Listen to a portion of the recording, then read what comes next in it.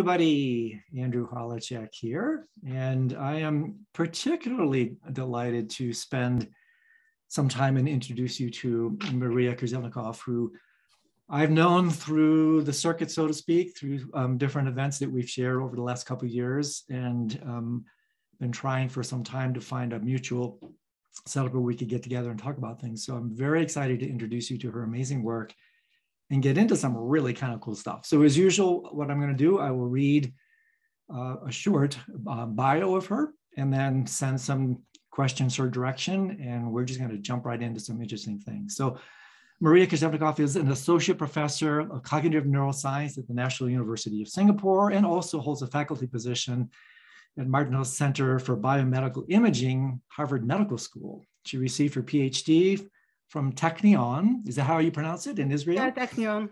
Yeah, jointly with UC Santa Barbara. Prior to joining the National University of Singapore, she has held faculty positions at Rutgers University and George Mason University. Her research interests focus on examining the neurocognitive basis of visualization and creativity and investigating the ways to enhance capabilities of the human mind.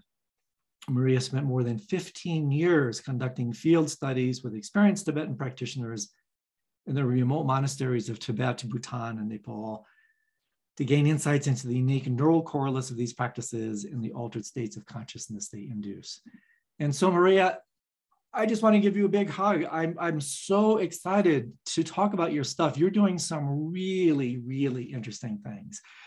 And I want to um, start at the outset. One, one of the things that, that I really want to focus on with you after I get how you got into this kind of stuff, et cetera, is something that we share a real uh, kind of common passion for. And, and in fact, I'm penning a book right now, literally tentatively titled uh, entitled "Okay, I'm Mindful. Now What."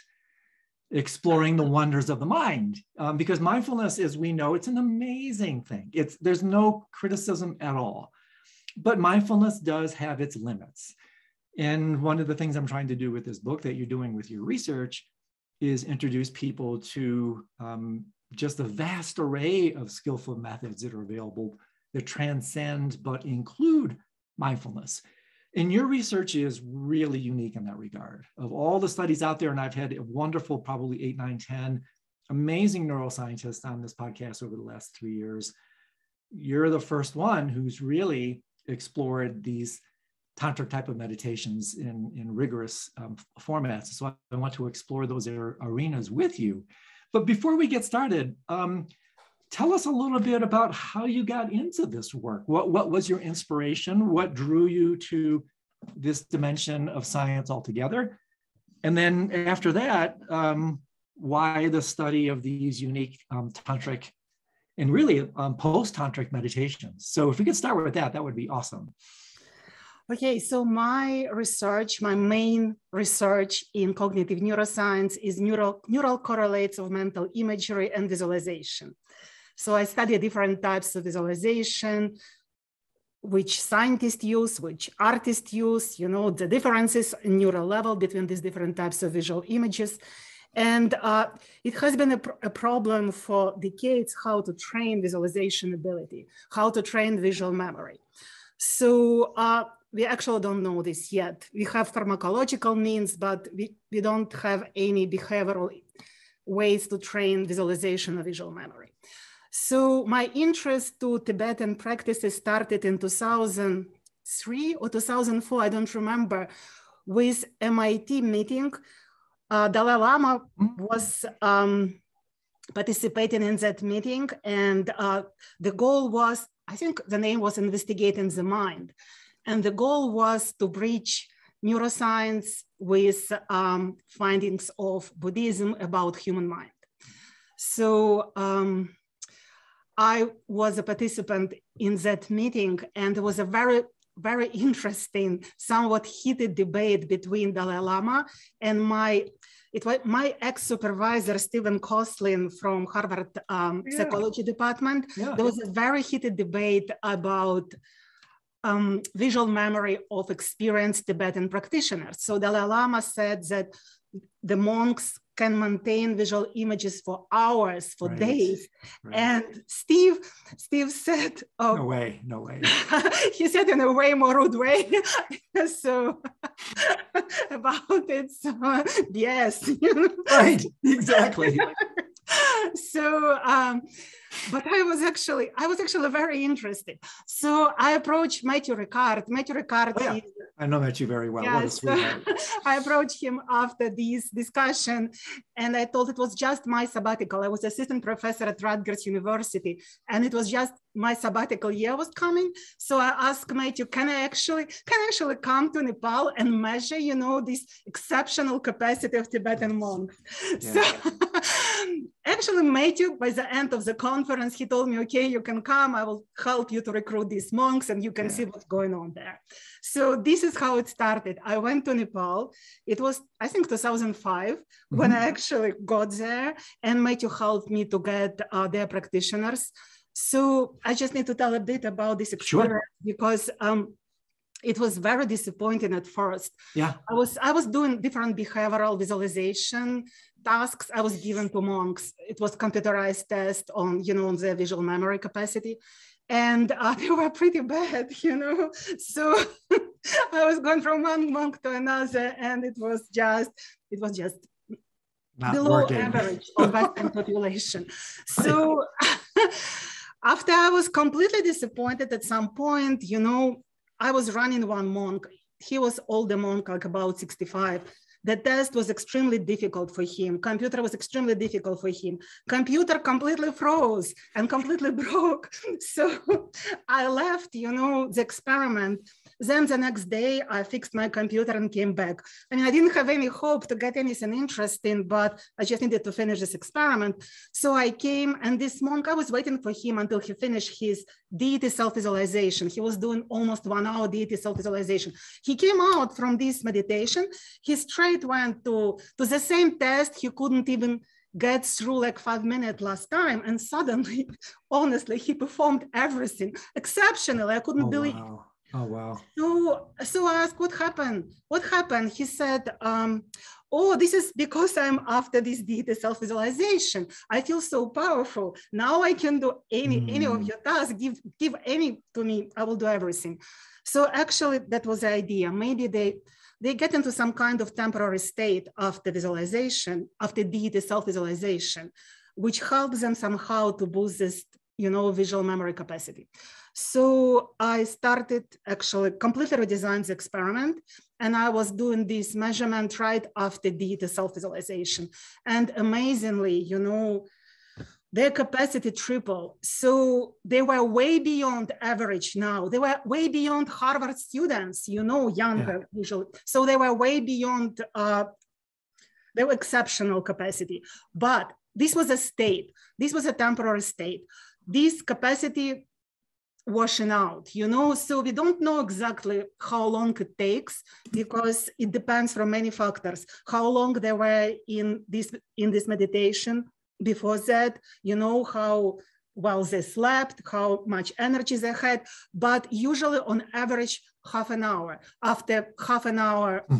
Mm. deity self-visualization, you still see it's washing out during the next half an hour, but you can still see the effect and performance is absolutely exceptional. So this was my first finding and I got extremely interested. And this is why I did a lot of follow-up studies with Tibetan practitioners, actually to understand what we're dealing. Now I compare these um, performance of monks after mindfulness meditation, after vipassana meditation, you don't see anything. You don't see these boost Right. of capacities, cognitive capacities. You see it only after. So what I saw, I saw them only after um, deity self-visualization. Actually, and all kind of emotional type of meditation. So compassion meditation also causes similar effect. Loving kindness meditation, not even among Tibetan practitioner, even among you know Theravada, Mhm. also cause similar effect. So emotional kind of meditations and uh, um, yeah, self guru yoga similar. So anything which kind of involve emotion and based on this, my hypothesis was that they get into the, into the state of autonomic arousal. Mhm. not relaxation, which is which is not right. stress, but right. kind of adrenaline rush adrenaline rush state. So they get into this state which expand their capacity. And usually it makes sense because during this state, you know, like to be able to, to deal with threat or arouse and stimulate, usually people can access latent resources, you know, attentional and cognitive. So uh, this is how I think this is this is working. And all my next experiments were actually to understand the mechanism of this enhanced cognitive state states at neural and physiological level. So this is I, I love this because it really does expand the rubric of the traditional everything going back to Herbert Benson, right? The relaxation yeah. response and the literally thousands of studies that have exhaustively analyzed the more uh, parasympathetic, the quiescent um, capacities. And so it's like you're bringing uh, a scientific lens to the other uh, spectrum, so to speak, and introducing the community to all these other benefits that really, in a certain way, transcend, like I mentioned the outset, transcend, but include mindfulness. But let, let's let's identify um, and define a couple of things here, Maria. One is tell us a little bit briefly. We mentioned Mathieu Ricard. We should tell people a little bit about who he is because he's, as, as we know, he's an amazing individual. And then also say a little bit about what, what actually deity Yoga is, because some, some of our listeners may not know that. And then maybe I'll say a little bit from um, kind of experiential point of view, because one of the things that really excites me about your work is I've done the three year retreat. I've done all these practices. I've done Yidam practices for 40 years. And so finally, to have someone who's um, actually bringing scientific traction to these tantric practices that I've done for decades, I find really interesting. So tell us just very briefly about the this amazing individual, Mathieu Ricard, since you mentioned him, a little bit about deity Yoga, and then from there we'll launch into some of the specifics. Okay. So Mathieu is he's a French origin. Um, I think he has PhD in genetics yeah. from France, right? So uh, he left uh, France one long time ago, maybe like 40 years ago, and uh, he got interested in Tibetan Buddhism. He moved to Sechen Monastery, Sechen Monastery in Kathmandu in Nepal, and he he actually started his practice very intensely there so uh, right now he was he was kind of was managing Sechen monastery from for a long time from administrative perspective, but he is also a great practitioner who spent a lot of time doing retreats and practicing Tibetan Vajrayana meditations in, in Nepal. And it's really it's his it's his extraordinary facility um, bridging the world of science and spirit that has been an absolute gold mine for the scientific community because I, am familiar with all a lot of the people in the mind and life scene. I know a lot of the people you know, and it's it's like um, anytime we need a highly proficient meditator, we call Mathieu, or you call Mathieu, or sometimes we get him in the scanner, right? It's like yes, exactly. and he, I, I want to mention him because if if listeners are not familiar with his work, he's one of the most beautiful human beings on this planet. I, I find him so brilliant, so humble. I think he he was labeled once the happiest man in the world, right? Which he just really like doesn't really like that epithet. he's he's just the most beautiful human being, and I got to know him quite closely when I was actually working. I, I helped set up a clinic at Sechen Gompa, so I know Rabjam Rinpoche. Oh. And so I spent. I actually still have an apartment. Literally, I could throw a stone into into Sechen Courtyard. and so I I've been to Bhutan with Mathieu and with Abdur Rinpoche, I, have you know, so this is these are my family um, members in that area, and so I love them all dearly. And so, uh, say a little bit then about um, what deity yoga is, because in, in tantric Vajrayana Buddhism, it is a massive, literally. Some scholars have, have said that about a third of tantric Vajrayana practice is really devoted to deity yoga, yoga slash generation stage practice slash um, Yidam practice. And because so it's so central, let's let's tell our, our, listeners a little bit about what that is and why it's it's a particular interest to you. I actually very happy that you mentioned this because I need to tell you honestly, when I submitted my first paper about the effect of deity self-visualization on cognitive capacity, you know, like a lot of reviewers came back to me apparently people from the field of meditation or meditation research. And their point was that I study some exotic, extremely rare and not representative type of meditation. You know, so yeah. this is entirely not true. It's so not true. Is, this is not true. This is some kind of Western some kind of Western view of some people about meditation, that this is extremely exotic and rare meditation. This is not true. This is one of the basic meditation in Vajrayana in Tibetan Buddhism. Absolutely. And it's also called uh, generation stages. Yep. So it's actually what it's supposed to generate for Mahamudra, for more high level, you know, like meditations. It's supposed to generate wakefulness, a wakeful state of mind, based on which uh, one can practice later, let's say Mahamudra or Dzogchen or other Tibetan practices, mm-hmm. non-dual awareness practices. So it's called generation or developmental stages, and they generate wakefulness for um, for completion stages. Completion stage, this is kind of culminating stages mm-hmm. like Mahamudra meditation. And one visualize oneself as a powerful deity it's multimodal mental imagery. Mm-hmm. It could be also a mantra, not just visual image, but it's self-visualization. I'm the deity, my body, body of a deity, my mind, my mental state, it's all mental state and mind of a deity. So with all the attributes and symbolic. And I also need to mention that sometimes these images looks quite aggressive with blood, with, you know, stepping on human corpses and they seem aggressive, but um, it's actually to, it's actually, first of all, it's symbolic. And second, it's really to generate really wakeful, what I would say aroused state of mind, which is really widely awake. Because arousal in psychological terms, it is a state of being wide awake. Yes. Yeah, and there's a, let me just throw in a couple more things because in my training when we did it, and I've done I've done this literally for decades. You mentioned two. There are actually three aspects of complete generation stage practice. One is the one that you're focusing on, which you could almost say some teachers talk about it as, as a, a kind of a tantric shamatha. In other words, you use a self-generated image to stabilize the mind. That evokes particular clarity aspects of the mind, which by the way, parenthetically, maybe we can talk about this later.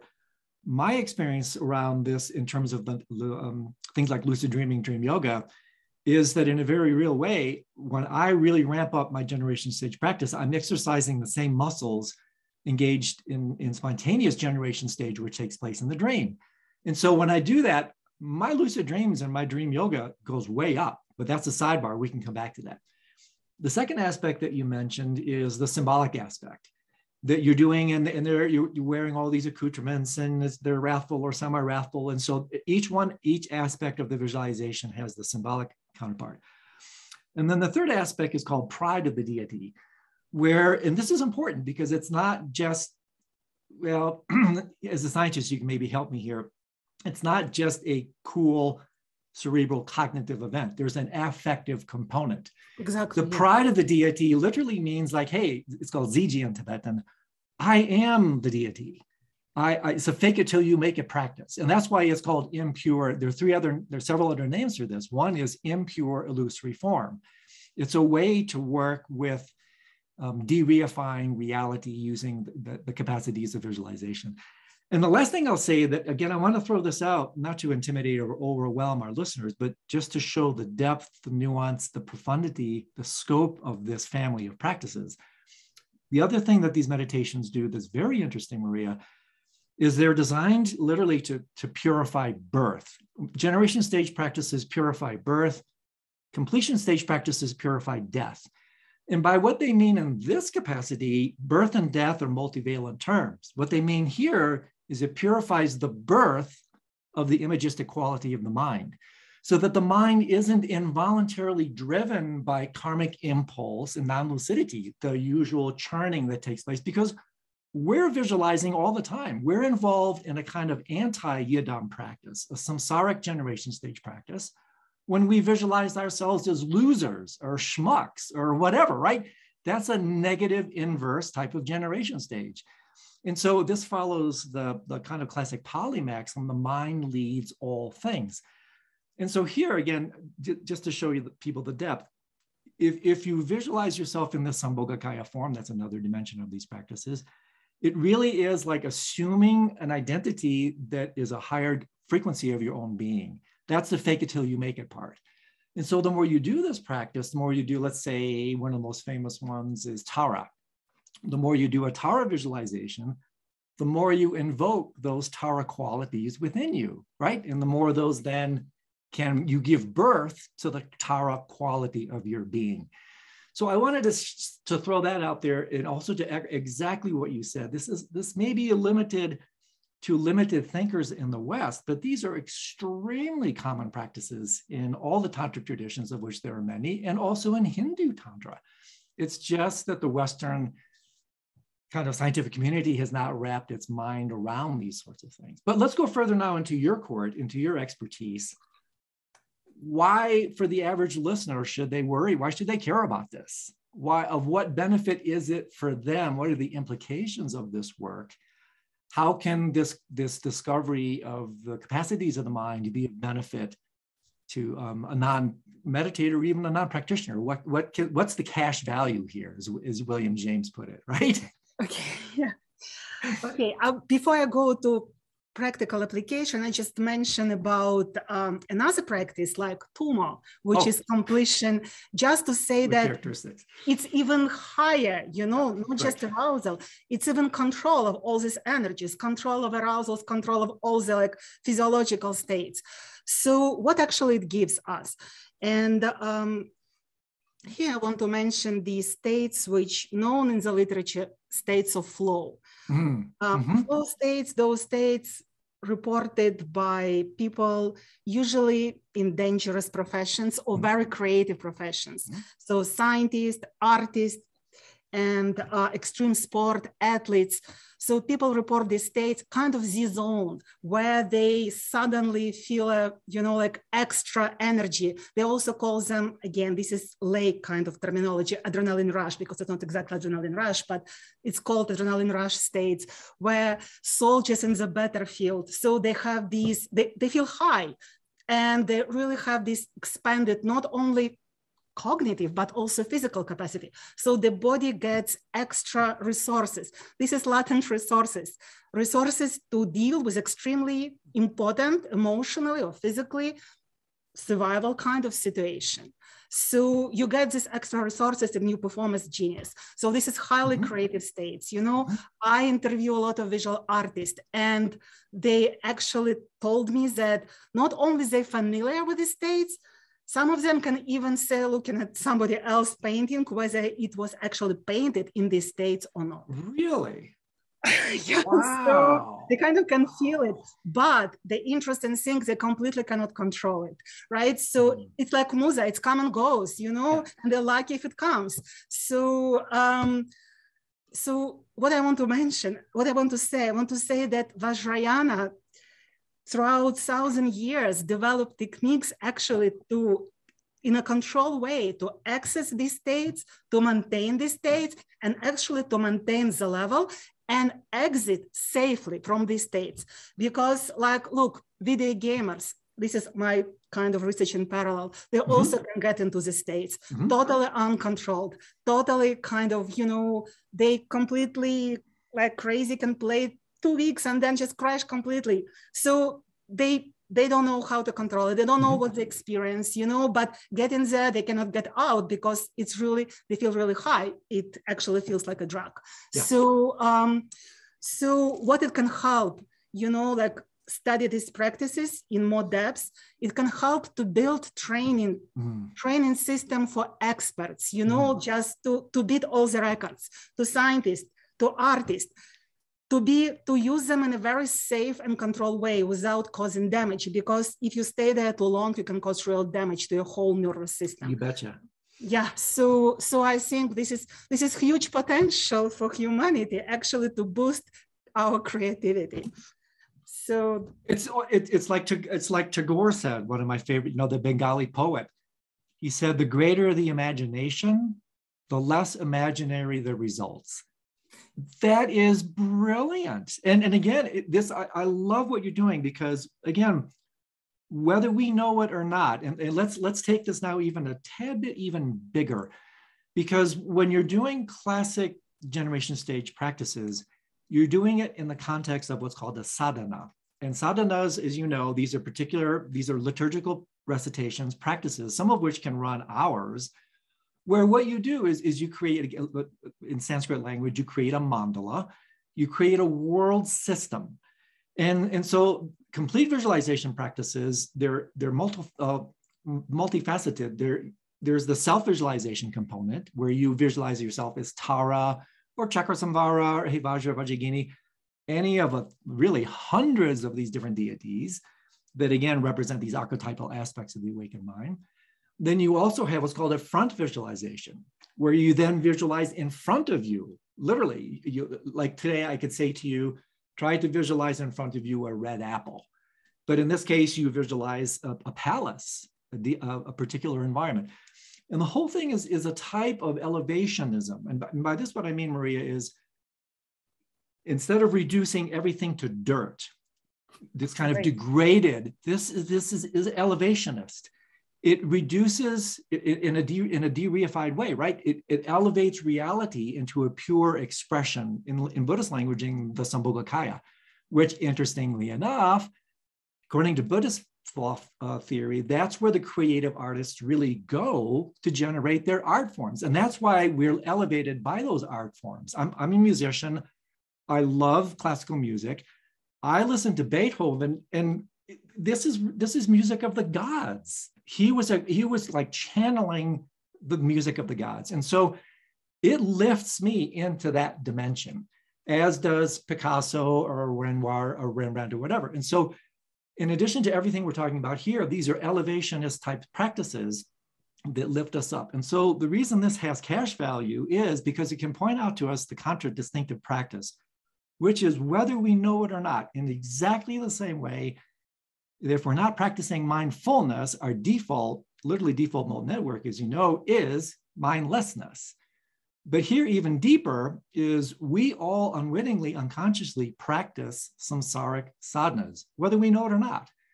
We're always visualizing the world in, in, a, uh, in the only way we know, which is this particular materialistic way. And therefore, these visualization powers, therefore, end up really controlling a large part of our lives. So, what I see you doing is just so brilliant is taking this process, articulating it in the language that has credibility in the Western world, which is scientific language, and then now again showing the vast, extraordinary implications of doing this using flow states and everything else that you're talking about. But in addition to any comments on that and, and how that lands with you, I also wanted to ask you what is the relationship or any between studying this, your gaming studies, and also virtual reality? Because in a, in a similar way, when you engage in these practices, there's very much a, a, kind of a virtual reality component. So has virtual reality also entered your spectrum of study yet in application in this area? Yeah, so um, I actually used virtual reality because it provides better kind of more realistic visualization. So you can actually get more, more realistic images. And especially if you play games in virtual reality, you can easily get this three-dimensional, they're realistic. They, you can actually easier, it's easier to get to the state of flow. But for me, there is some a bit diff difficult to explain, but there is some big difference between virtual reality and deity self-visualization. Okay because um, how to say this while using virtual reality to get into flow it's kind of external you know external visualization which you use and it's actually it's actually going even deeper to samsara because it's even less realistic yes. so yes. you're even more deep into imaginary illusory world. Exactly. While deity visualization, you actually, as you said, you're trying to raise yourself above and actually to, to get to seeing the world as it is in more pure form. This is not very scientific what I'm saying, but what I'm trying to say, uh, you're trying to break the limits of this world, of this illusory yes. world, not putting yourself Further. into, further into more and more illusory world.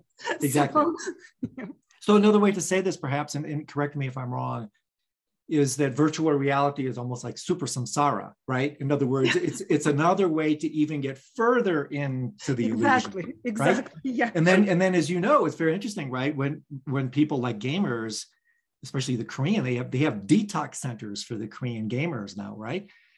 There's this alternative world syndrome that people spend so much time in VR. And I have to say, the first time I did it, I, I spent a couple hours in a headset. I could see how this could become somewhat problematic because it can really shake shape shift your sense of, of reality. And, and, and on one level, that's healthy because that can help you question the status of your reality.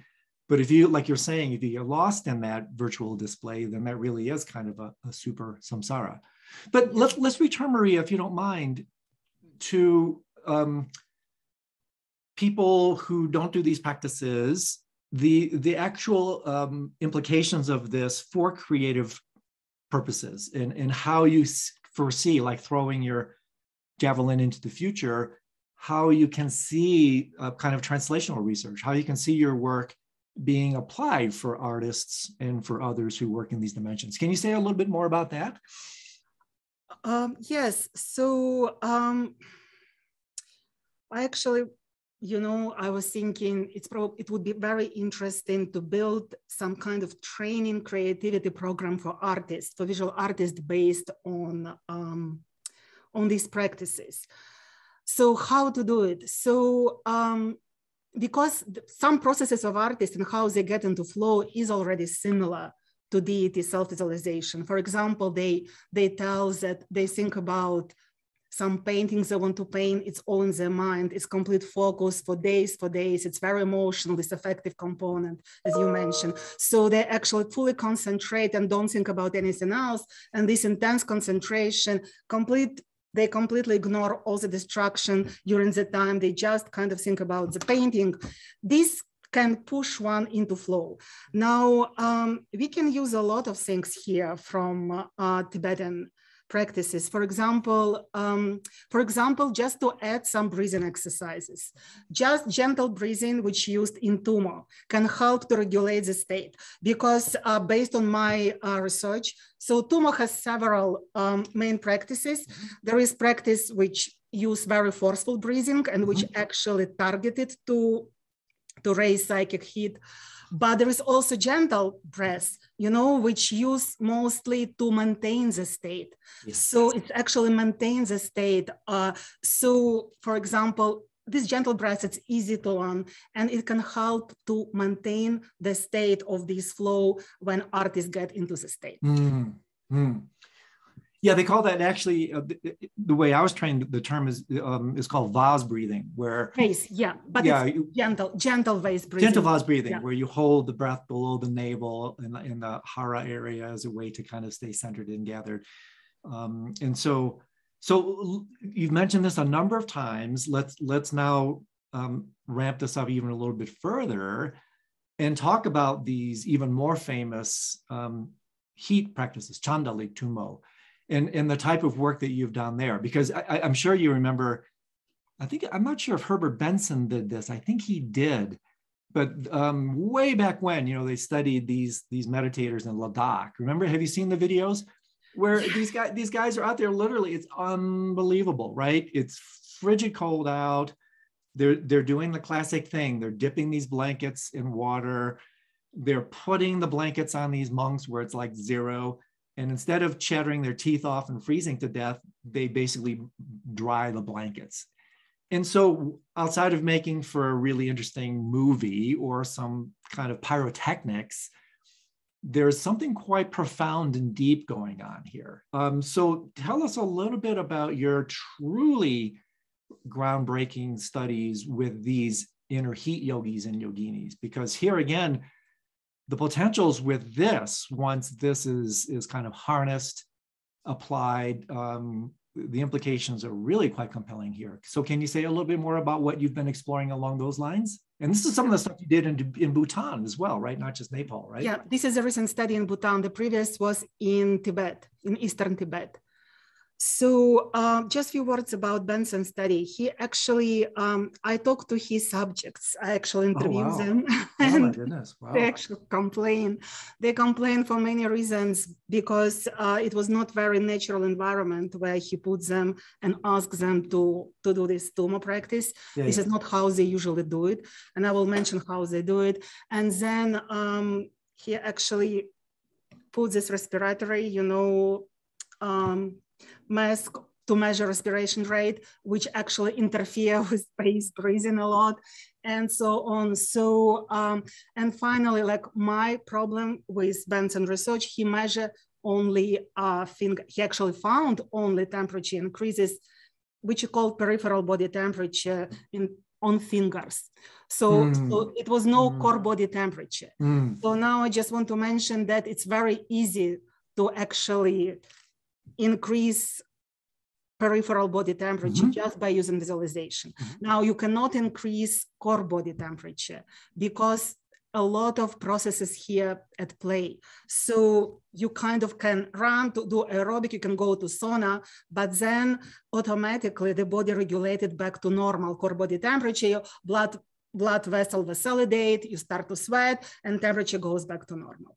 So, so the, the real interest to me was to see whether they can really increase core body temperature. Now, I know this is not the main um, the main goal of Tummo, right. but but it was extremely interesting to me from scientific perspective because because it's not possible according to all medical sciences. Right. You know, the person cannot control their core body temperature. If you can control your core body temperature, it would mean you control all your, you know, autonomic nervous system. Right. Actually, this is my mind over matter. This is you almost like, you know, so absolutely. So from this perspective, is it really true they can do it? Actually, they can do it. Um, and um, and also another reason why it was so interesting because it's actually power visualization, right? Mm-hmm. And it's really about visualization, functional role, what visualization can do. So uh, my first experiment was in Tibet. I went there, this is a nunnery, Gebchak nunnery. It's in Eastern Tibet. And this is probably the only monastery in that area which still doing this yearly ceremony of dry and wet sheets. Yeah. So this is Amdo area, which was historically area of these Tummo monasteries where previously they all were going out every year drying wet sheets. Now I don't know how many, how many monastery left, but in that Amdo area, this is probably the last, which is doing kind of proper ceremony, ceremony every year. And it was, actually it was extremely cold. It was like minus 25. And um, you cannot film this ceremony, you know, right. you cannot actually take any picture. And so I just watched together with locals. It was extremely cold. All locals were really warmly dressed. And then these nuns were going probably two hours, even longer around early in the morning around monastery premises. It's very colorful ceremony. They um, they were half naked and they have very colorful short uh, skirts and mm -hmm. high boots. And they were taking these um, wet sheets from lama and they were, you know, like wrapping around their body. They walk until sheet dry out and then they were given to lama this dry sheet and getting a new wet. So um, I didn't do any experiments during the ceremony because of course it's not allowed, I cannot uh, interfere, but I did with these nuns um, and monks from the same area, from Amdo area, these experiments after the ceremony. So I actually did find increase um, in core body temperature. So the highest one was, um, it's in Celsius. It was, so the monk was able to raise his temperature up to 38 degrees Celsius. So it's axillary temperature. I think it's about 101 or even higher in Fahrenheit, in oral temperature, probably even higher. So it's kind of medium fever and um, which is very interesting because again, it shows that um, they can actually do it. And the mechanism now I understand, I think I understand the mechanism, how it works. They get into this paradoxically high arousal. It's paradox- paradoxically high, you know, so, and they can control this level of stress. So it's very stressful state already. They can control it very effectively by using visual imagery, again, it's a flow state, extremely high, visual imagery and intense concentration. And what happening there, adrenaline, noradrenaline hormone is rushing into the bloodstream, mm -hmm. which actually help, you know, to regulate, to regulate core body temperature. And uh, even according to modern medical theories, there is a way, if there is this um, a lot of noradrenaline going into the bloodstream. There is a way actually to, to regulate core body temperature and warm up and heat the body. So this is, I think, what's, what's going on, but it's, it's show extreme control over nervous system, which these nuns were able to achieve.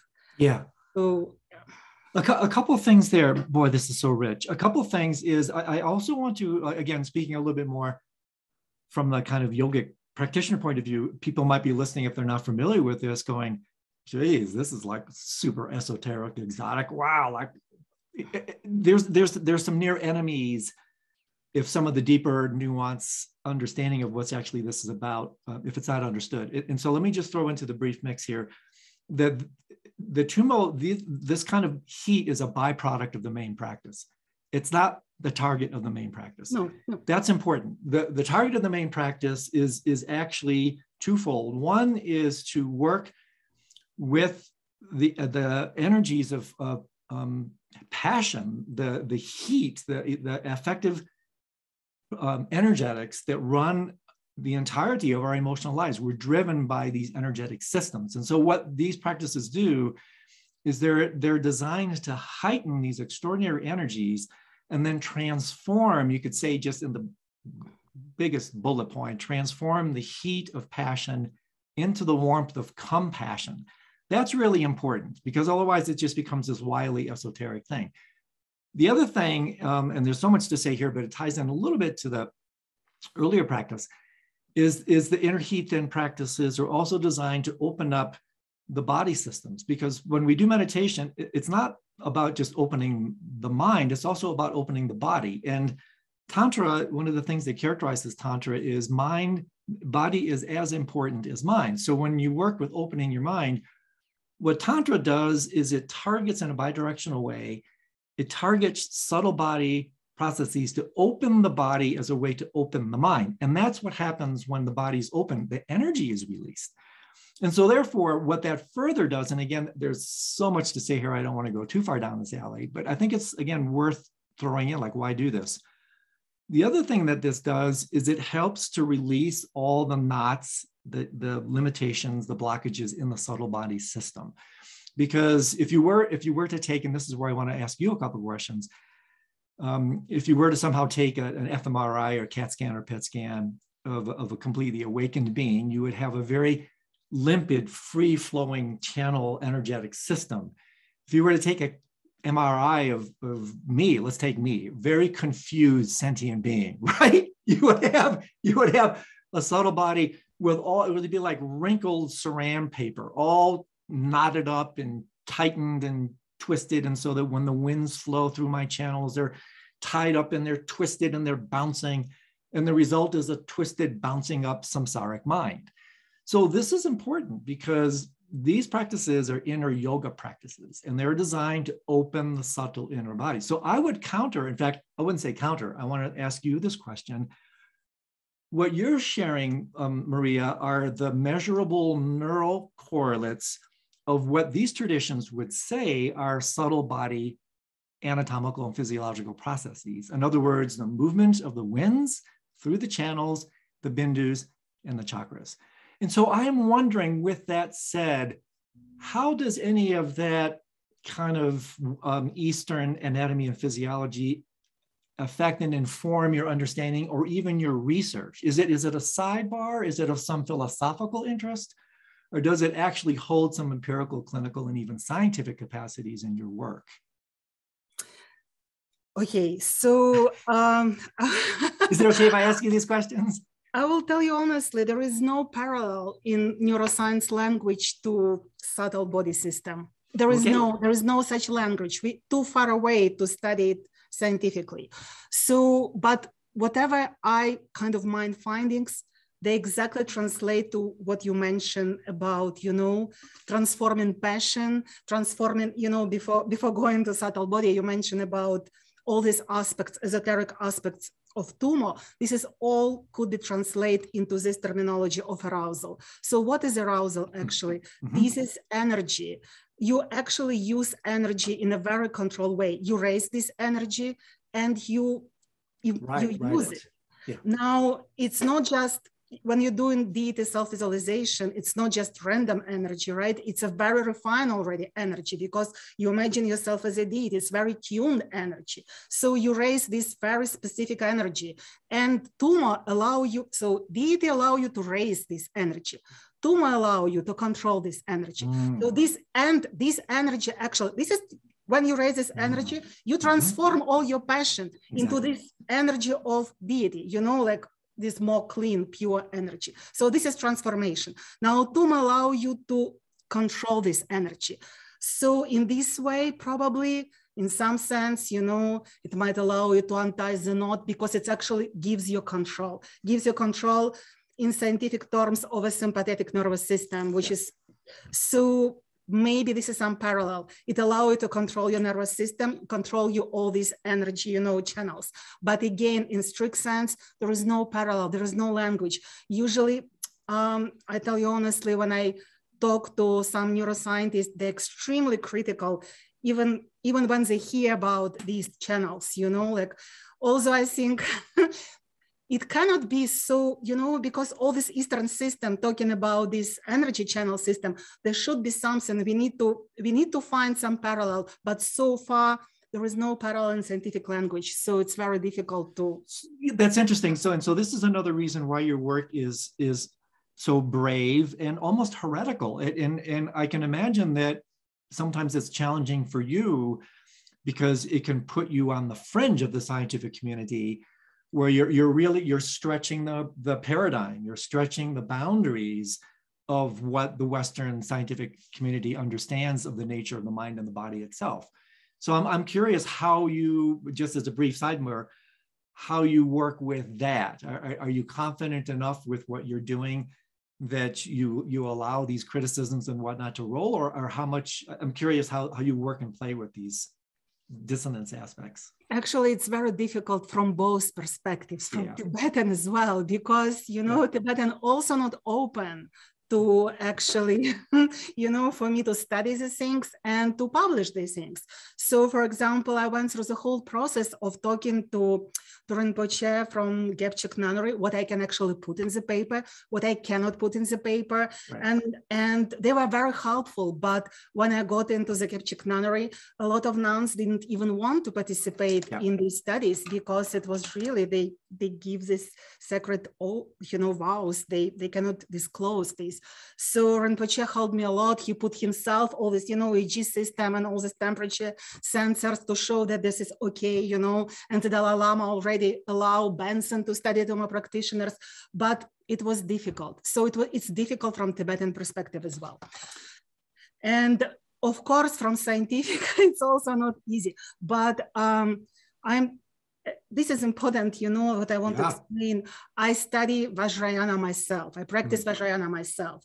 So, and on the other hand, I'm scientist. So when I'm doing science, I'm scientist. I only use cognitive neuroscience language. I'm not go beyond what is, you know, cannot be, at least in the papers, because the you nobody will understand what you're trying to say, you know. So anyway, so I'm trying to keep it separate, but you know, I'm trying to bridge them as much as I can at this point of time. So it's it's a very courageous journey. And, and you may remember the very first book of the whole mind and life dialogue series over 35 years ago what was the title gentle bridges so yeah. you're you're you're creating yeah. these gentle bridges and there's it's very interesting because there's there's dissonance on both sides like you say on one level the, the practitioners the serious practitioners on one level they could care less about science if it wasn't the dalai lama saying please do this for the benefit of humanity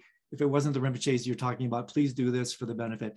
These practitioners are saying, like, we don't need your science. We don't need, again, a little strong language because they're so compassionate and kind. But on one level, it's like, we don't need that stuff. Our technologies work. We don't care what you're doing. We don't need you. But then you have the genius, the prescience of the Dalai Lama and others that are saying, hey, wait a second. We have these mental Olympians. We have these people that have 50, 60,000 hours of practice. And they operate at a bandwidth that really can, if scientifically validated, say, hey, wow, look at the potentiality of the human mind. Look at what the mind can do if it's trained in this way. And so to me, this is the cash value. We hit it when you said control, uh, controlling our emotions, controlling our mind and heart. Because if we don't do that, we get what's happening in Ukraine right now. We get super samsara because people are unable to control the energies in their body, the emotions, and the winds, the thoughts in their mind. And so it's actually this lack of control that is tearing this world apart. And so I would suspect that with your ability to actually live both those worlds as a scientist and a practitioner, that somehow that inspires you to say, hey, wait a second, we've got real special techniques, technologies, capacities that the West should know about that can really help us in this darkest of all ages. Is that a fair thing to say? It, yes, and actually it goes the other way around as well, because in my, uh, I had a lot of discussion with Tibetan Rinpoche trying to defend or explain, because in Tibet, they think that science is something like at the level of engineering. They don't even understand what science is about, right. you know. So, so I had discussion with Rinpoche trying to convince them that it's also valid way of knowing, you know, and it can also bring amazing discoveries, yeah. you know. So, so just different ways of knowing. So science also has value. So, so it's kind of going both way. And then for scientists, I'm trying to show, look, you know, these practices Vajrayana practices, they have amazing potential to uncover actual potential of human mind, how we can control our sympathetic system. I mean, how we can improve, enhance our visualization. We should not just discard, you know, these meditative practices. Absolutely. I, I couldn't agree more with you. And so let's be a little bit more, or, or let me ask you to be a little bit more articulate about um, we've talked a lot about the promises and, and, i oh i'm so with you on this but let's let's let's be a little bit more articulate about the perils. What are some of the hazards of doing this type of work? In other words because once you establish metrics it's there's a blessing and a curse with metrics because then you're actually able to bring western modalities of credibility into arenas that perhaps are not amenable to that sort of thing. And, and once, and then I, I mean, I can envision all kinds of potential nightmarish scenarios of, of using these metrics to, to somehow study even levels of realization. But I'm curious what else you see have discovered for um, the general public and also for young scientists, people who are interested in studying this. We've discussed the promises a little bit more about some of the admonitions some of the perils of doing this type of work because it, you're, you're walking on, on one level thin ice here right? The danger of you know given information about these practices their mechanism this i'm just trying to understand the danger in general you know for, for specific practitioner or the danger for society or what exactly your question. Well, well, just the, just the danger of bringing these esoteric. I mean, there's a reason. Um, and again, if it wasn't for the Dalai Lama and others, I don't think any of this would be in the public domain. Yeah. But but all these, you know, it's I I, I when I did my practices and got my empowerments, I I had to do the Samaya thing, where it's like code of secrecy. Yeah. You don't talk about this stuff. You don't go there. So, okay, so so I think there are two things here. Yeah. First, it's a risk and danger for particular practitioner, and it's very valid. For example, this is all arousal flow states extremely dangerous. They feel like like drug. The person, you know, these these athletes they can run or jump until they just crash just to feel this, this zone you know get into this zone state mm. you know that video gamers can play games for weeks until they completely crash, the body crashes. So you cannot use resources of your body. This is latent resources of your body without paying really high price for that later. Mm. It's completely exhaust you, completely. It's burn your neural networks. It's completely exhaust your body. So you cannot function. And people don't understand. They get into these states, mm-hmm. which are really high drug states. They cannot get out and they completely kill and ruin themselves. Mm. So um, so this is the first danger you know and then it's very easy to get like practice in tummo it's very easy to get into extreme stress and get get you know like really weak heart out yeah. of it instead yeah. of you know psychic hit so like you really need to know what you're doing yeah. you really need to be able to control your passion your emotion to transform them really kind of in the right way so yes so this is why for particular person these practices could be quite harmful without yes. supervision and without and then you mentioned you know samaya and mindfulness. This is the basics on which you can build these arousal based practices. Without them you will get only into extremely stressful you know you can just be extremely stressful. You will never get you will never learn how to control this arousal. So you really need to be prepared. You need to have strong nervous system. You need to have really calm and stable mind. So so i understand. But on the other hand you know, as ever, of course, there could be danger just exposing, you know, to people with bad intention, these practices. But on the other hand, as everything, there could be also benefit yeah. because even to explain these video gamers or other people who using the state completely wrong can kill them and ruin themselves, what it is, how to control, how to get out safely from these states, it also could bring a lot of benefit, you know. And also Tummo, if again used correctly, I'm not talking about like really high level Tummo practices, but some preliminaries or gentle breathing. Yep. It can have amazing medical effects. Yep. Amazing, you know, it can heal brain for a lot of traumas. So, um, so there is a lot of good might come out. Of course, there is danger always, but there is also positive things as well. That's that's the essence of tantra, right? And and yeah. I, I, actually wrote a recent article for Tarka magazine um, entitled, I'll send it to you, Is the West Ready for Tantra? I'll send it to you. Because, yeah, yeah. No, go ahead.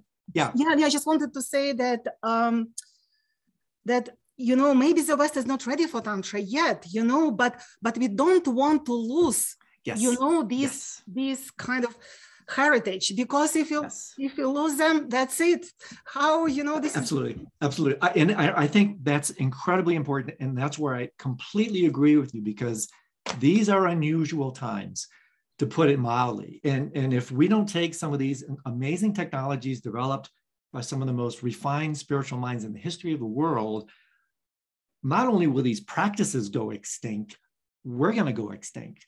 So this is an extreme time that requires so-called extreme measures. And, and this is where I, I agree with the genius of the Dalai Lama, the prescience of some of these Rinpoches that are saying, hey, 40 years ago, we wouldn't be doing this but we need to do it right now because otherwise all the stuff is going to go, go, go away. But i do want to say one more thing for the listeners here is that this is important. When we're talking about these types of things my languaging uh, maria but these are prescription strength meditations. Don't do it's, it's like the commercial don't try this at home. Uh, people listen to this they go oh wow this sounds so sexy. I'll be the first person on my block drying sheets in the middle of winter. Oh, Lordy. I mean, don't even think about that.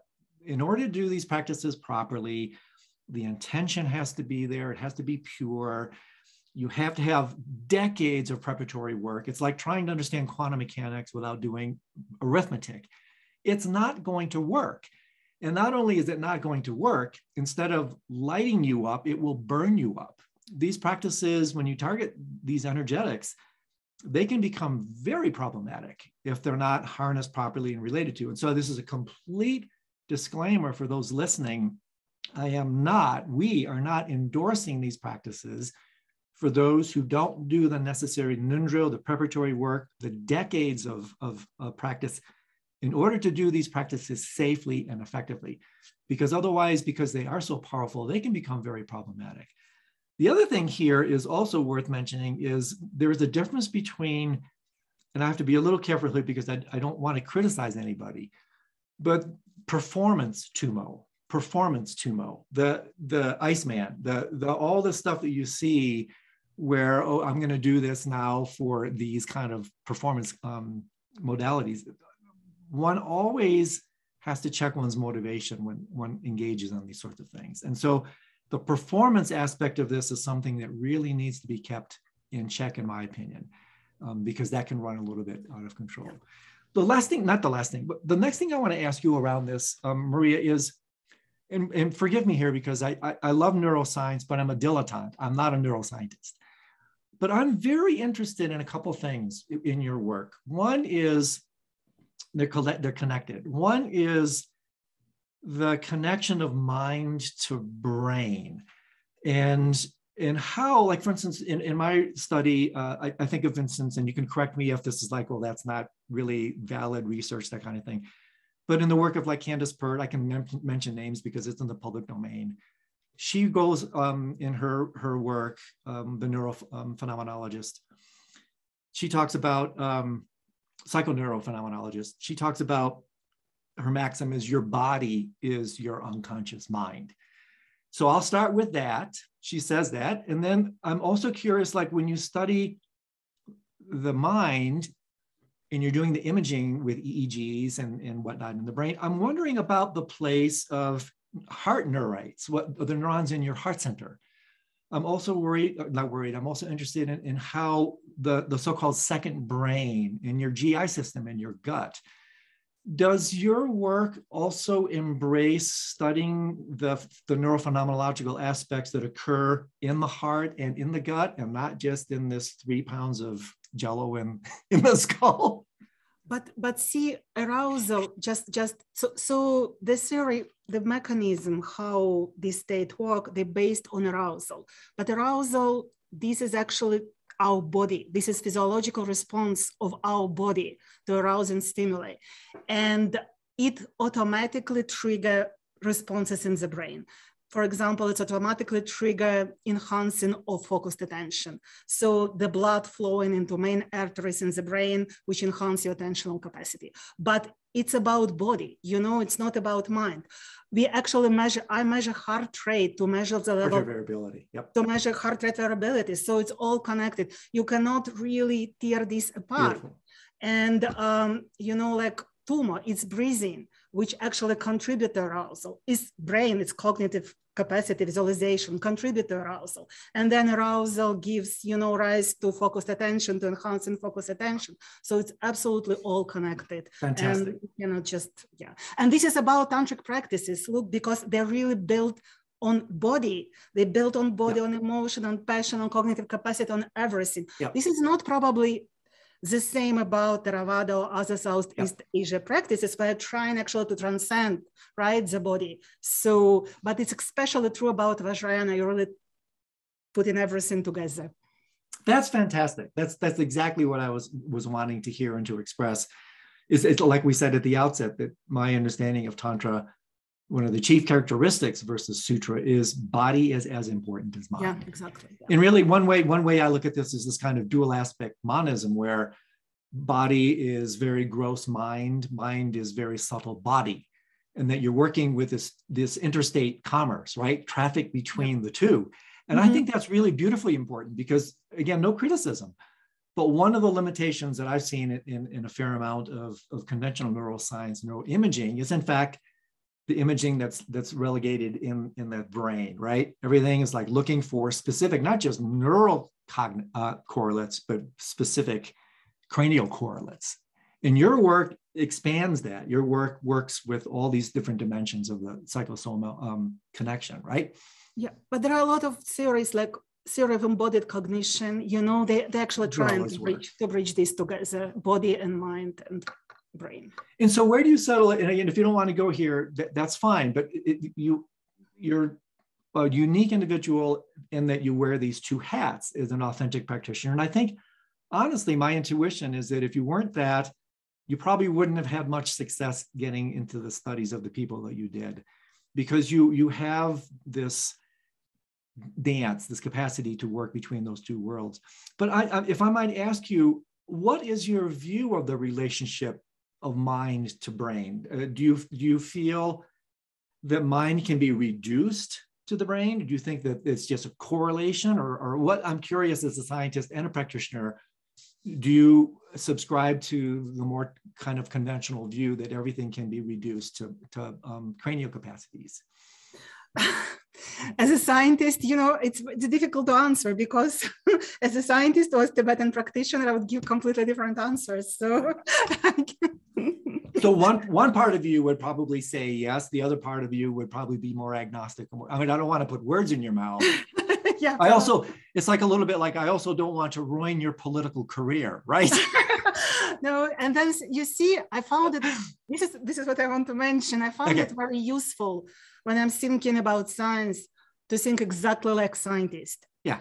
And when I'm doing Vajrayana practices, I'm doing them as Vajrayana practitioner. I don't mix the two because they use completely, completely different terminology, language, understanding of the world. Now, I just want to tell you, I found it not very useful. And probably this is this is not a good thing, you know, like politically what I'm going to say. I found it not very useful to train people in both, you know, ah. these contemplative studies, which train people neuroscience and they also give them some background meditation. Yeah. I found them not very useful. explain huh. why.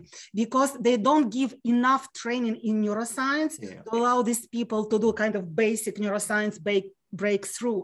And they don't give them enough you know framework of uh, let's say tibetan buddhism so so they have some kind of hybrid training but they cannot make breakthrough in either you yeah. know so yeah. so i would you know i would think that let's say collaborations between great neuroscientists and great Tibetan practitioners, I think this would be a more promising model. Yeah. You know, if you can find people who, who want to collaborate. That, that, rather than trying to create a hybrid model, right? I understand why they're doing this because they wanted yeah. people who do neuroscience to give some idea about meditation, but in the long run, I don't think it will give major breakthrough. And this is why when I'm when I'm doing scientific research, I'm doing it yeah. absolutely as a scientist. I don't bring yeah. anything beyond that, Beautiful. and I'm looking at the problem limited scientist you know that's yeah I, you know in my languaging there, there is something to be said for a separation of church and state. And i think that's one way to talk about this. But but again because you you wear these two hats i can see how that could be both a blessing and a curse Gent- for you. gentle bridges. So you build gentle bridges in the places where you see you can you're capable of you know putting these bridges. So both sides can cross this bridge and understand what you're talking Absolutely. about. You're not trying to do to build these bridges somewhere where there will be complete misunderstanding, you know, from both exactly. sides. Yeah. So, so can I ask you, Maria, what did one precede the other? In other words, were you a scientist before you became a tantrika, or were you engaged in in these practices and then the science came in? Or uh, can you say a little I, bit about?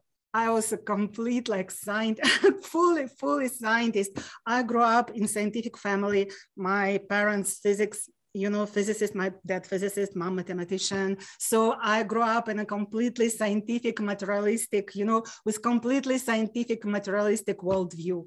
So it's only later, you know, with my life. So then when I, my first trip to Nepal in 2005, mm-hmm.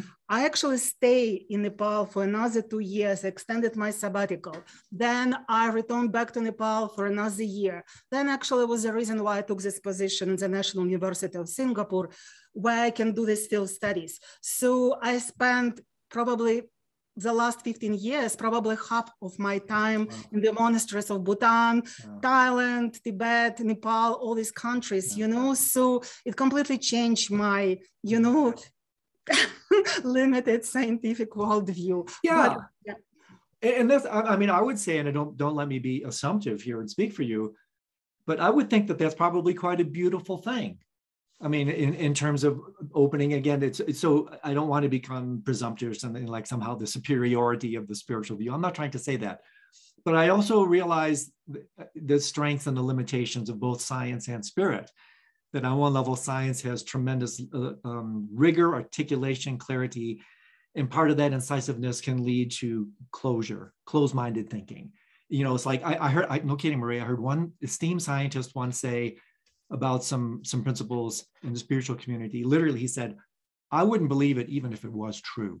I mean that, that that's that's and you you laugh because you know right? You laugh because you know. Yeah i know yeah and so that they're they're near enemies and near friends. So the near enemy of this type of you know super shamatha articulate intelligent precise is this kind of provincial territorial mind closure. And then of course the the near enemy of, of the spiritual thing is, is is sometimes a mind that's so open that's so so acquiescent or whatever but they're they're also near enemies related to that. And so therefore i think being able to centrifuge the strengths and weaknesses of those two disciplines is really quite beautiful um, but it's very interesting this is actually was one of one of the questions i had for you was um, how has your research changed you? I mean, outside of the scientist and the discoveries, which is, uh, they're amazing, right? But fundamentally, isn't it true? Maybe I speak for myself. I change when I feel things. I mean, I can think about, I philosophize, I love to think, I, I, I can get all wrapped up in that. But if I want to be fundamentally transformed, I have to feel something. And so I'm curious, how has your research affected you, changed you, transformed you? What, what insights um, has it brought to you in, in your spiritual? Because you say you centrifuge them out, but I think on one level, it can't help, you know, no matter how many borders we create, we have this kind of porosity towards ourselves, right? So I'm curious how your research has affected you and changed you. So it's actually how like Vajrayana Tibetan view actually affected a lot my research in the sense that hmm. it removed closed-mindedness. You know, like being in all this monastery, I saw things which could never be explained using current scientific, you know, hmm. knowledge. So, and uh, I actually believe them. I saw them and I believe them because this mm. is what I saw. Yeah. And uh, so, so it completely removed my closed mindedness, you know, in my scientific research. So now I really kind of really trying really, really trust in my results instead of trying to put them to kind of fit them into previous model i'm trying to mm. really see what they mean oh, so it completely changed it completely changed the way i'm doing my research you know so i never I never try to fit it into whatever I said before or, you know, or existing models. I'm really trying to get something new and see how it works.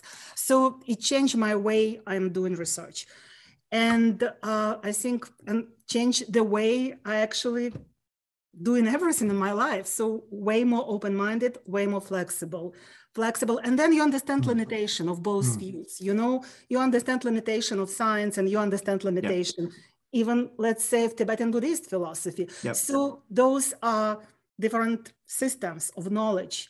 And you know, and they both have limitation. Yep and they could be useful for different things. So you become more flexible and um, yeah, that's and more open-minded. Fantastic, fantastic. And so if, if I might ask you further, because I, I find this actually very inspiring, you're saying this, but I want to be a little bit perhaps more targeted. Ch- literally changing the way you perceive, right? Changing yeah. the way you see the world yeah exactly. are you able are you able to address that do you feel comfortable yeah I mean, how, absolutely. how is it how has it changed the way you perceive the world yeah actually it's a very interesting comment because you know our perception and there is all these theories you know predictive coding about perception yep. which are very popular right now that you actually perceive only what you actually expect to perceive you know so so the learning can mm-hmm. still occur but it's limited you know because the visual system works in the way that it actually enhances stimuli which you expect to see and inhibits stimuli which you don't expect to see outside filters away yep yeah. So what it actually doing to people? They live in a quiet, they live in kind of virtual reality in, in some sense, you know, which they create themselves. So um, I think it's one way to break this virtual reality, actually to, to take this view that um, anything could be out there. You know, you're not, you're not kind of going with any particular view of the yep. world. Yep. Right? You, you're not going, you're not sticking to any particular view of the world because the world could be way more richer than you know your particular view suggest you. Fantastic. I I, lo- I really I love hearing that because really, to me, it's like what you said earlier was I think so admirable because there's it's like it's like what happened with the advent of quantum mechanics and its reconciliation or lack thereof with Newtonian physics. People kept trying to fit the data into Newton's world, and it didn't fit. Yeah. And so then basically that's how paradigms change, right? They change yeah, exactly, when you get yeah. when you get the data it just doesn't you fit. cannot fit them any longer it doesn't yeah. fit the old model and so you have it's like an outdated operating system you've got to let that model go and that is revelatory for a lot of people who are so attached to those models i had a conversation with eben alexander he reminded me of uh, i mentioned the quote then he attributed it to max planck where he said beautifully i love this quote science proceeds advances funeral by funeral Isn't it true?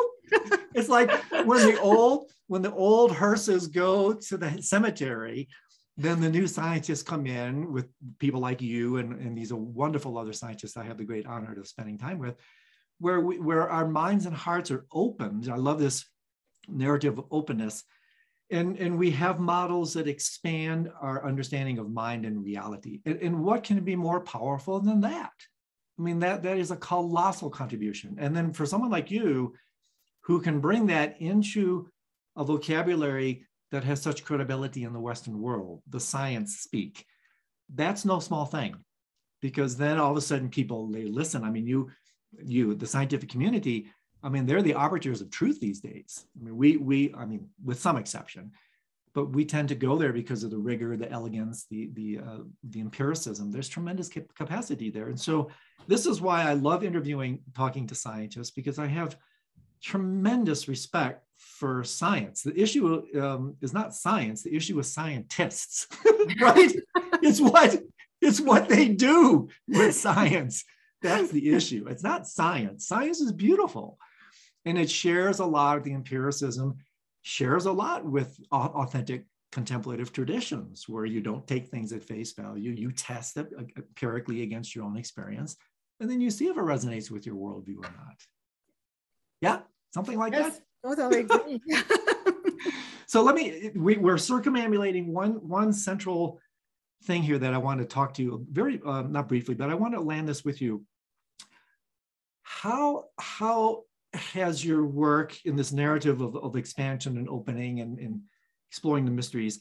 You mentioned you were brought up in, in a scientific, materialistic, physicalistic environment, as many people are. How has that paradigm been challenged and even um, perhaps uh, overthrown? In other words, do you still, I mentioned this earlier when, when I asked you the question about the, the reducibility of, of mind to brain. Do you still, and again, simply just open-hearted um, question, do you subscribe to a worldview um, philosophically that would be idealistic in nature or a, a worldview that is materialistic? What, what is the fundamental explanatory um, or epistemic basis? Is it mind for you? Is it matter for you? What, where, where, what is the, the ontological primitive for you? I would say, you know, it's probably some kind of hybrid view. Hmm.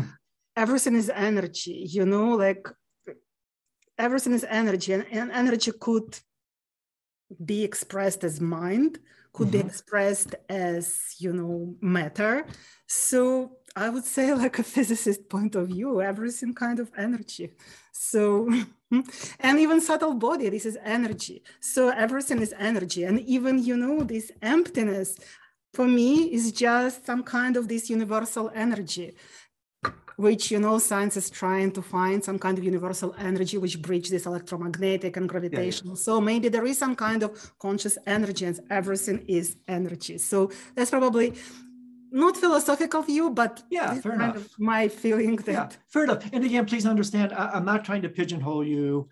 I'm not trying to like oh say oh oh i talked to maria oh she's just another hardcore materialist right no i'm not trying to go there i'm genuinely interested because like like you, I, I was brought up um, in a more medical community, not a scientific community, but I studied physics. I mean, I, I I was if I had to do it all over again, I would probably be a cognitive neuroscientist. I love this stuff. But I'm also very deeply, I mean, my primary trajectory is understanding reality, understanding mind. WTF is this thing called mind and reality.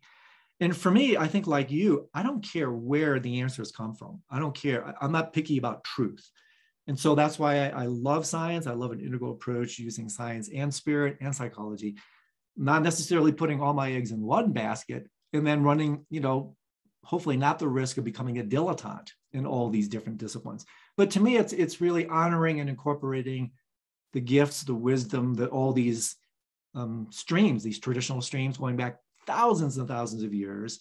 And then the unbelievable advances over the last hundred years in the scientific community. And then sometimes really getting blinded by that light because sometimes the hubris that's associated with the explanatory power of science, that can be a problem. because you know as my friend bernardo kastrup says science doesn't um, doesn't describe what reality is it describes what reality does and so i would argue that science can fundamentally it's actually incapable of answering these fundamental questions. And so that's why um, i mean that's me that's just me talking so. But what about quantum you know physics? You know um, i think some of the view you know quantum physics are quite advanced and uh, in some way they in some way they might parallel you know. I actually also have a graduate degree in theoretical physics. Hmm. i didn't know that. Cool. Very cool. so from from moscow you know before i moved to to united states and israel and then united states.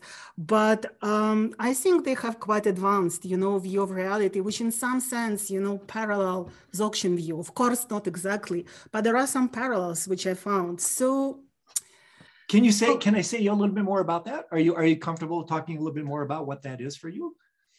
Um, it's difficult put, you know, right now, I, I just need to prepare something sure. like, but it's difficult to talk immediately, but I sure. found when I was, you know, in Tibet taking this Dzogchen, you know, teaching, I actually found a lot of parallel, but of course in Tibetan language, of course in a very different way, but they were talking about about similar things. So, so I think there is potential in science, you know, to explain to explain the world in a different way than in Tibetan Buddhism, not an experiential way, but but I I have high high hopes for science yeah. you know, in the future, yeah. especially for physics. By the way, about cognitive neuroscience, yeah. I think it's cognitive neuroscience still didn't make that bridge to physics yet. Yes. It's also quite a new field, you know. So so I I actually expect way more discoveries in cognitive neuroscience in future when it finally makes a bridge with, you know, with quantum physics, with contemporary physics. I think that it has a lot of potential, way more well, potential than now. It's certainly one of the more exciting arenas, is it not? And, yeah. and, and like you, again, I don't want to be a dilettante, but the work of Andre Linde and Anton Zeilinger. I mean, there's some amazing individuals out there now yeah. that are that are talking about reality in a way that is highly resonant with contemplative assertions. Yeah. But then, but yeah. then one of the questions here that we always have to be aware of are category errors, where just, just because the particular they're using the same languaging, these are multivalent terms. They're they're just because you're using the same term, same signifier, doesn't always mean the same signified. And I think that's where a lot of confusion comes in because you think they're saying the same thing, but are they really? So this is an open question for me. I, I mean, I love Francisco Varela's approach to the power of an open question, being truly agnostic and just saying, hey, I don't know. And I'm okay, I'm comfortable saying, I don't know. And then allowing the world to arise instead of coming in with your predispositions, your confirmation biases, all the other um, crap shows that we bring in that stains our perceptions and stains our so-called data, right? Yeah, yeah. So, so when you look into the future, Maria, as a scientist, what excites you? What what when you look your, into your crystal ball, um, what really gets you up in the morning, and what what excites you about not only your work but where you see um, neuroscience going all together?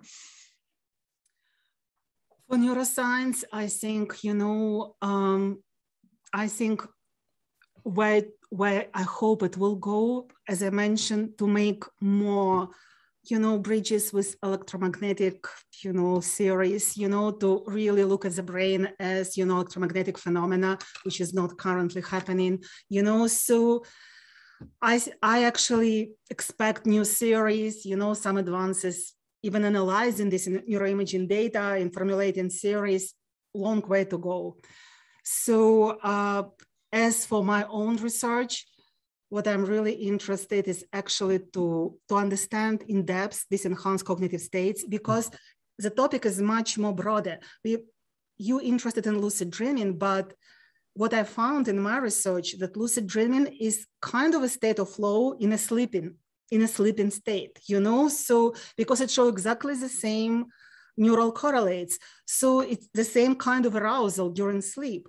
So um, I read a lot about near-death phenomena, mm-hmm. and they're talking about this temporal lucidity, which mm-hmm. actually very similar to mm-hmm. these enhanced cognitive states. So, taken broadly, what are those uh, altered state of consciousness? Including lucid dreaming, including near-death experiences, including states of flow, what is common, mm. what we can actually understand, you know, and then about perception, as you mentioned, it's, it's extremely interesting, you know, what we see, it could be just completely blocked by our expectation and our kind of top-down ideas, you know, so series of perception in the future. This is, I think, a very interesting topic as well. So this is what I'm interested to to follow. Fantastic. So we, we haven't said much about this. And so if you have a little bit more energy to speak a little bit more about the, the lucid dreaming aspect of it. Like what, because this is um very interesting comment you just said that lucid dreaming um, has these flow state kind of correlates. Can you say a little bit more about that in your work with lucid dreaming? So um, what is interesting, you know, the studies that show that how I got to the idea that it might be the state of flow in sleep during sleep is because all these studies, new studies in psychology that shows that video gamers, and this is video gamers like first person shooter aggressive video games, they actually experience lucid dreaming spontaneously. Yeah. Much more often, even yeah. more often than even you know those who who using all these lucid dreaming techniques or doing a lot of mindfulness meditation and you know so, so what's going on here? And because these video gamers actually going easily to the state of flow my uh, hypothesis was that probably the state of flow if you know how to get into the state of flow during your waking state probably you can easily get spontaneously experience lucid dream in your sleeping state and actually this hypothesis confirmed because, you know, I, I did, I interview people, I did survey across, you know, like large sample, it was video gamer musicians, and actually it's not video gaming which correlate with um, frequency of lucid dreams. It's actually how often they experience flow in their waking life. Mm. So, uh, and then if you look at neural correlates of EEG correlates of lucid dreaming, you actually see that they're very similar to those in some way, not, not fully, but you know, you can see quite similarity with those experienced by monks when they're doing the self-visualization or by video gamers when they experience, you know, the states of flow.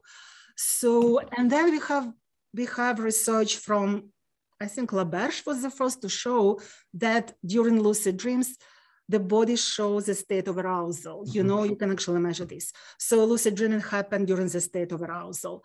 So I think it's really some kind of parallel or flow in during during the dream state.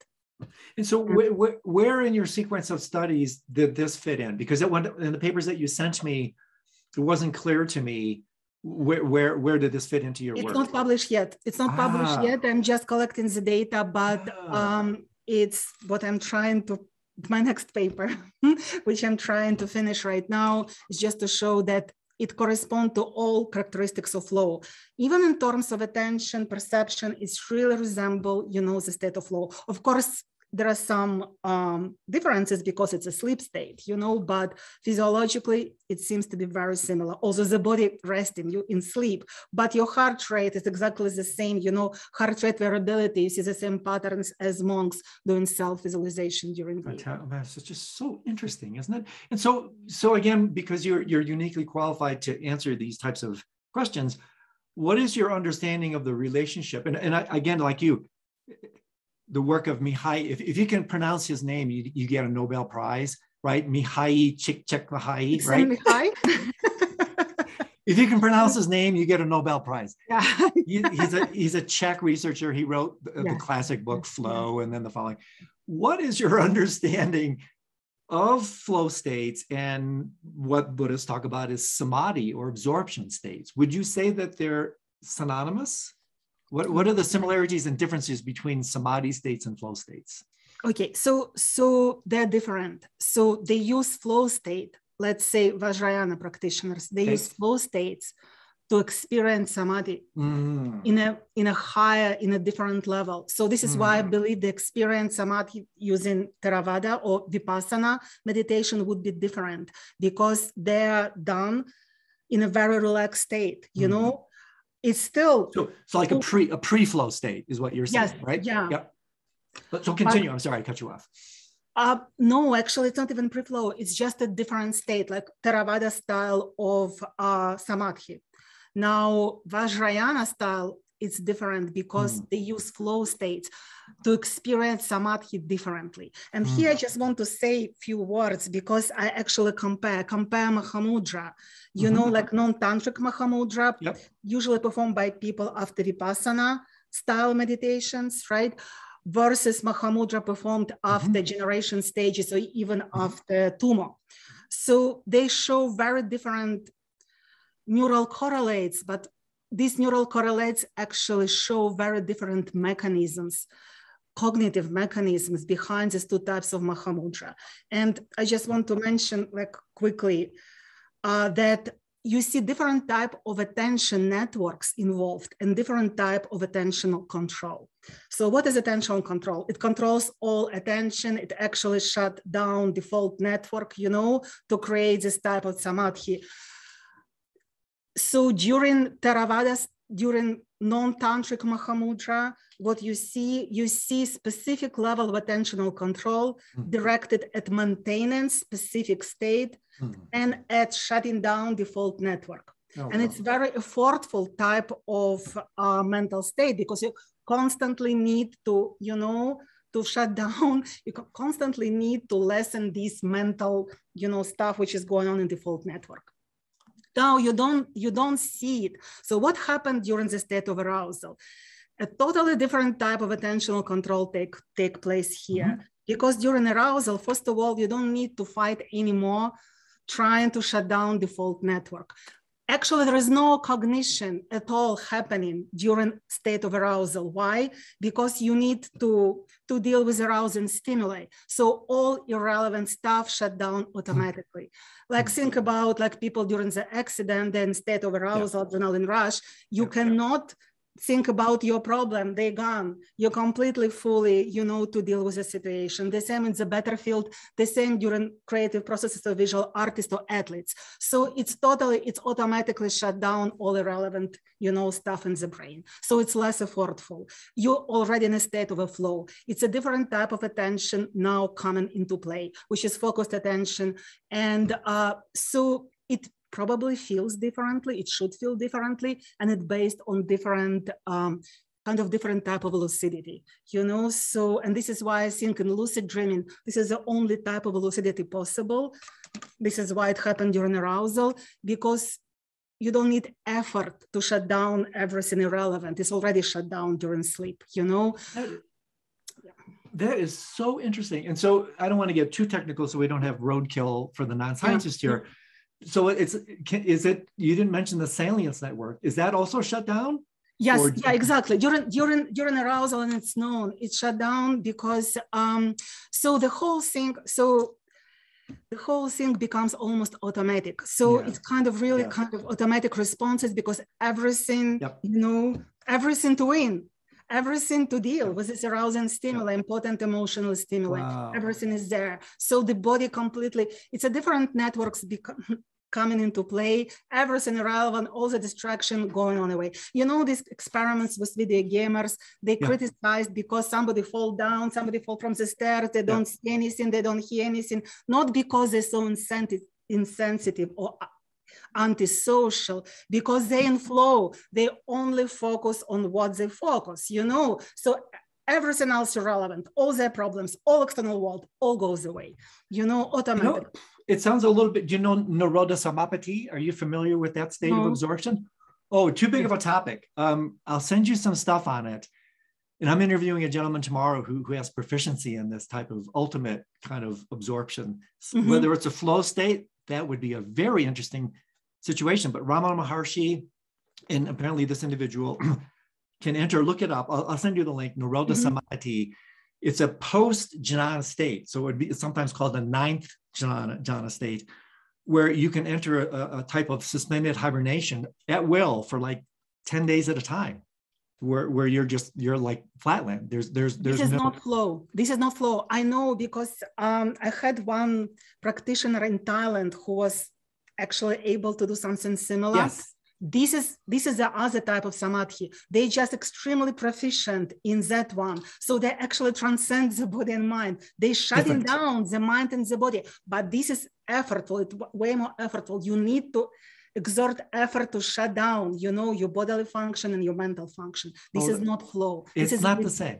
so so so this would tie back to what we talked about earlier this would be more classic Theravada Yes, exactly. samadhi yeah exactly versus Yeah. tantric flow state i mean how interesting is this this yeah is this would not be tantric mahamudra or tantric no that that would be classical it's very difficult to get it should be extremely professional but it's a different type of Yes, exactly. And then there's also parenthetically, there's also some real debate about whether that it actually is it's just it's nirodha, but does that mean it's nirvana? I mean, is that just the type of graduate absorption state, or is that in fact Buddhahood? Yeah, that's a really Yeah. interesting question, right? Because Yeah. this is where the tantrikas would say, good for you, but no cigar. It's not Mahamudra.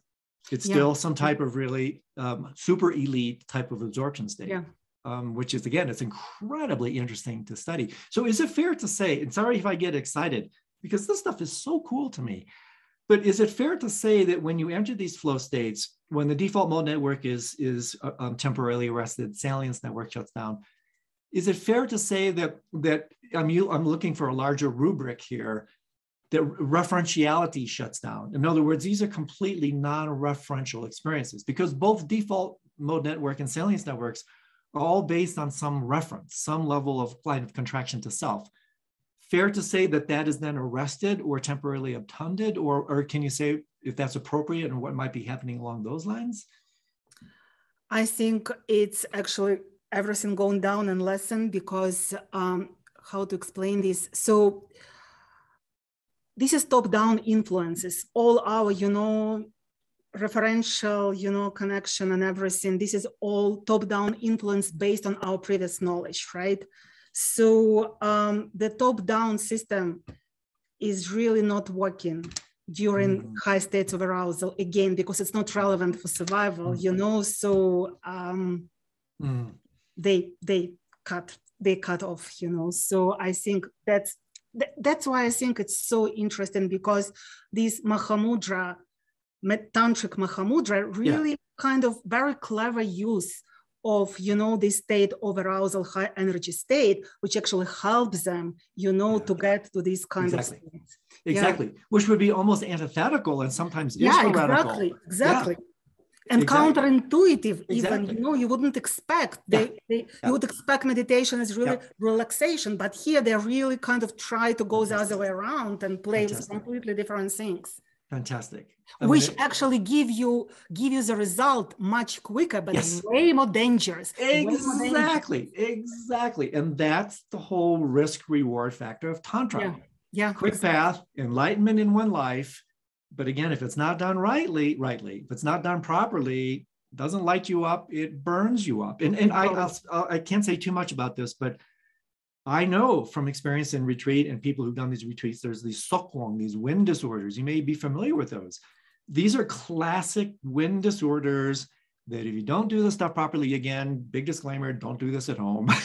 yeah exactly this stuff can become a serious problem. There's a reason this is postdoc work in the spiritual community. Not again to say that who does this is somehow elite. No, no, no. It's just this is a, a, a more subtle, refined technology that really, on on one level, the way I relate to this, uh, Maria, is what the, the genius and the danger of the tantras is it goes they, they use the nomenclature you, you probably heard of it it penetrates the vital points. These practices go to the nyingtik to the heart essence of samsara.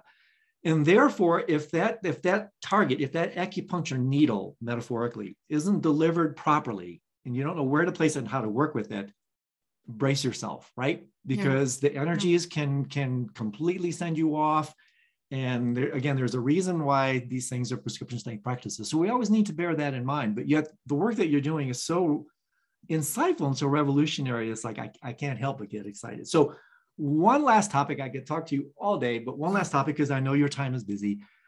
We've been hinting at this, but we haven't targeted it directly. And to me, this is Tantra Mahamudra um, in non, so-called non-duality. We can use those carefully as isomorphisms, but maybe not. They're maybe not equivalent. Have you done work with this officially, like so-called studying non-duality, virtually synonymous with enlightenment? Have you done work with this? Have you found things in in your um, both in the literature? You're more familiar with this than I am, and also in your own work or even future work studying um, Tantra Mahamudra or so-called non-duality specifically. Can you say a little bit about that? Um, and again, it will be a bit more technical, but I will try to explain. So I studied these practitioners in Tibet who was doing this. Um, I'm not saying they to enlightenment, but they were doing this Mahamudra non-dual type of Mahamudra for like 30 years, some of them. So it's like very long time.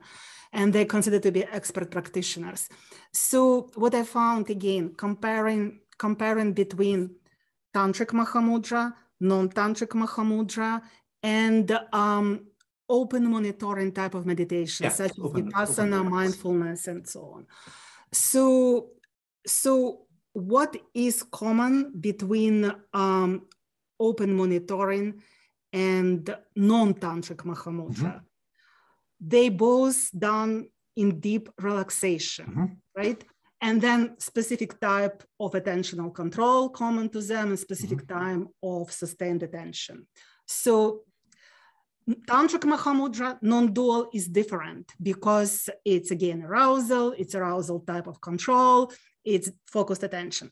Now, but there are things common to both types of Mahamudra, which actually differentiates them from open monitoring styles. And what happening here is that it's interesting. If you look at EEG data, you see gamma power going down. So it decreases. Where all other types of meditation, open monitor and focused attention, any other type, you see gamma power increasing. So what it means, gamma power, I mean, according to contemporary theory, means clarity of perception, object binding. So which mean clarity of perception. So what is going on here? Clarity of perception going down, but it's not going down. The object stop binding. Exactly. It means it means you see what i'm saying totally. it means you don't perceive them totally. the way you perceive them in your usual state totally so it's it's basically measuring a de-reified state you're you're, yes. you're basically measuring a state of non-duality where there's a lack of reification hence there's no binding and hence gamma then dissipates exactly. oh yeah. my goodness and that was wow. very it was very unusual result you know because you see in the literature on meditation recently you can see everywhere papers coming out that gamma increase is a signature is a marker of meditation so when first yeah. i did the study with dzogchen practitioner in Szechuan I we saw actually gamma decrease, and we couldn't understand back then what's going on, you know. But then, like later with in Tibet, in Bhutan, it's consistent, clear increase. But during Tantric Mahamudra, you see way more significant decrease than during non-Tantric Mahamudra. And again, this is because of the state of arousal. You just more equipped to deal with these things. But yet, even during non-tantric Mahamudra, you still see decrease in gamma. So it also work in the same direction. It's, it, it actually sends a chill up my back. And so again, I want to be a little careful to my listeners, but I, they have to they have to indulge me for just a second because this is so rare to talk about this. So, so does does gamma then cease, and is it delta, or what? What is left? Is is there is there something ah, that's no, no, left? No. Um, during Mahamudra, so no, we, we the other brain waves go in different direction, but they mean something different. So let's say alpha going up during non-tantric Mahamudra, alpha going down during tantric Mahamudra, but this is different processes. Yeah. But if to look, let's say beta and gamma, beta and gamma probably combination would be the best um, yep. the best combination to look at yep. because now it's really beta and gamma in combination, which actually correspond to this object binding yep. or predictive coding states. So what happening, both goes down, both beta and gamma goes down during um, both types of tantric and non-tantric type of Mahamudra, which means that object binding kind of stops. I, uh, it, wouldn't it be fair to say that it's not just merely object binding; it's just basically object period, right? Yes, exactly. because yes, object object binding, it, it's almost a bidirectional co-emergent process, right? Yeah, the object exactly. arises and you bind to it. So when yeah. the object is de-reified, there's nothing to bind to, and hence both go up in smoke because they lean on each other. Yeah, exactly. Fair enough exactly. to say? Yeah, fair enough to say. And that's again talking about predictive coding. The predictive coding break predictive states, you know, they they broke, they, they don't work. You don't predict anymore. So all so predictive, see, so predictive processing is arrested then. Yes, arrested. So you see the world as it is. I mean, exactly, ideally, right? so top, so all, all top-down processes cease. Cease, yeah. Oh my goodness. I mean, it just it just sends chills up my back. It's now so again, of course, I didn't show that they completely cease, but you need to be enlightened, but you clearly see significant yeah. decrease, which yeah. usually you never see in any other type of meditation. Ever. Exactly. You see increase. Exactly. Wow, wow. And so, how replicable are these? I mean, are, are we able to find? It's than... absolutely replicable because I couldn't believe this data when I first, you know, measure on Dzogchen practitioner. They show gamma decrease and beta decrease.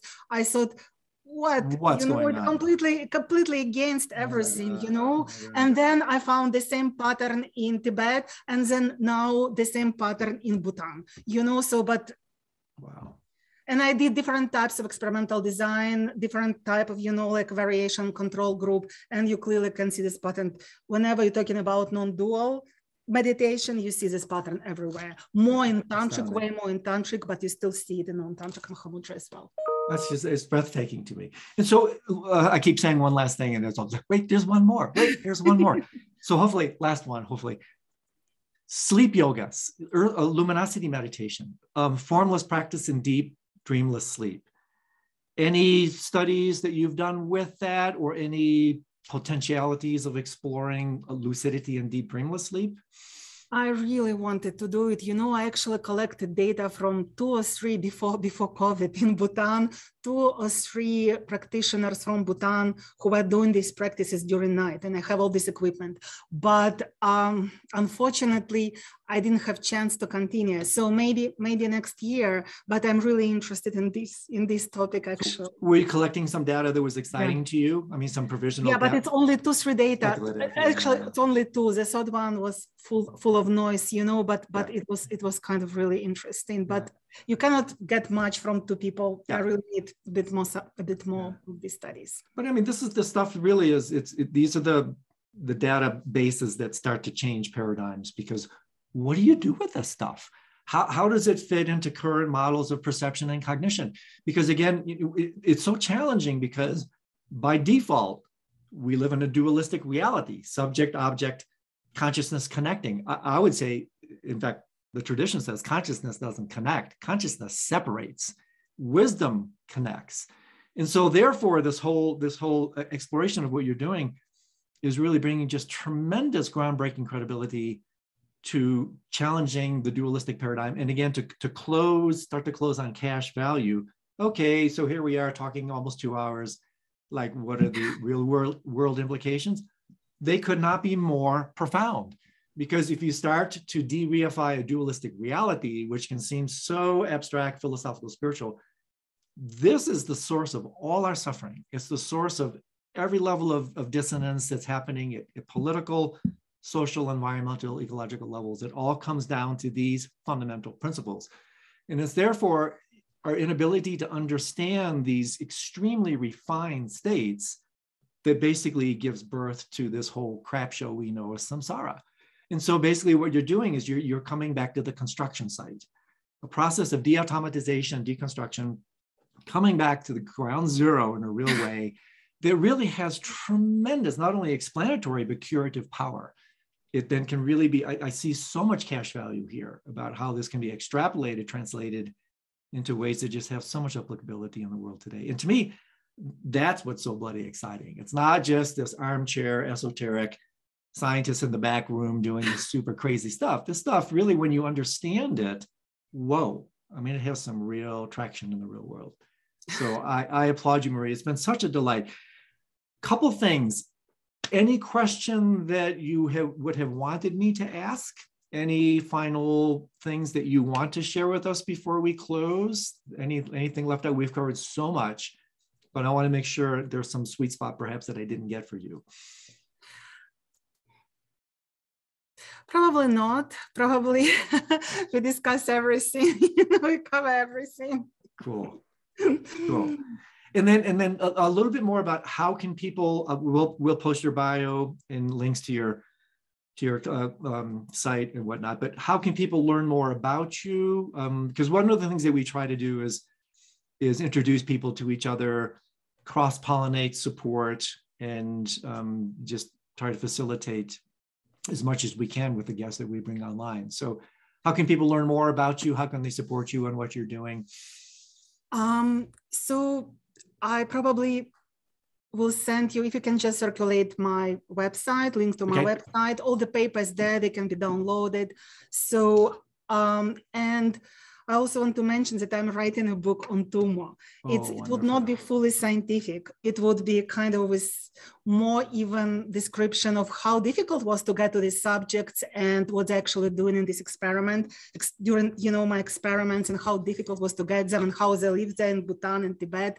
So I hope, I hope I will be able to publish it by um, summer, end of summer. Uh, I mean, not this one, the, the next one, yeah.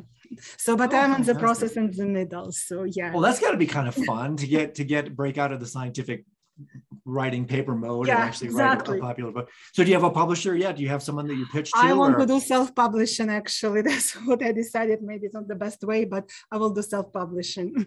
Yeah, good for you. I can't wait to read it. It's gonna. I'm sure it'll be a great contribution. And so, Maria, really, I, I I'm. It's so fun to finally make a connection and I'm so impressed with the work that you're doing. The papers you sent me is like I couldn't stop reading them. They were like so rich. And my conversation was the same with you. It's been such a delight. And so really thank you so much for taking time out of your busy schedule to chat with us. It means the world to me and to my audience and community. And, and um, let's definitely stay in close touch. And then, until next time, let's stay lucid Thank you. Thank you very much. Thank you for inviting me. It was real, really interesting conversation. Thanks a lot. I love it. I learned so much. Um, and so deep, deep of gratitude. Until next time. Take care. Thank you, Andrew. Take care. Bye-bye. Bye.